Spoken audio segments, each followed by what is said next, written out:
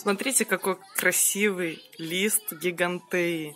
Смотрите, какая разница с предыдущим листом.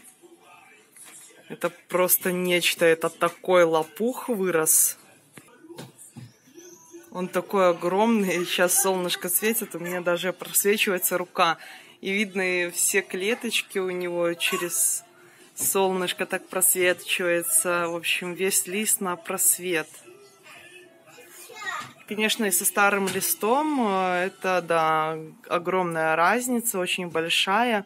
А вообще, чего я начала снимать видео? Я сидела, думала, надо снять видео, поделиться своей маленькой радостью о том, что э, Гигантея решила меня порадовать цветоносиком. И второй лопушок – это Леодорка тоже решила порадовать цветоносом. Но Леодора решила вдвойне порадовать.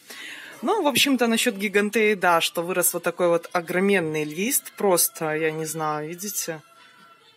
И, и то это не вся моя ладонь, а так вообще наполовину он как две ладошки и в ширину, и в длину две ладошки.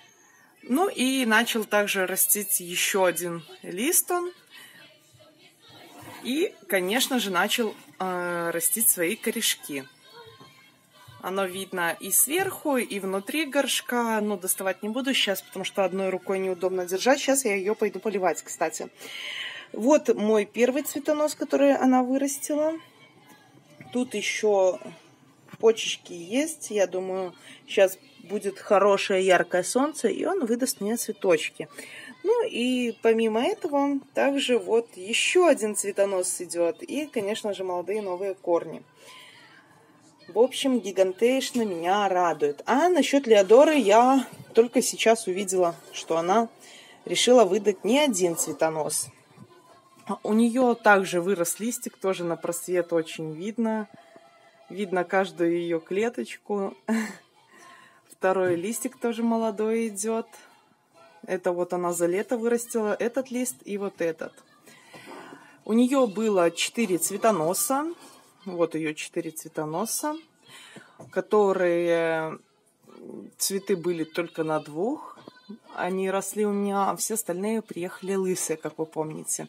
Ну и я уже давно увидела вот эту вот почечку у нее, что проклевывается цветоносик. А сегодня я еще увидела из другой пазухи тоже цветонос. Поэтому у нее уже скоро будет 6 цветоносов.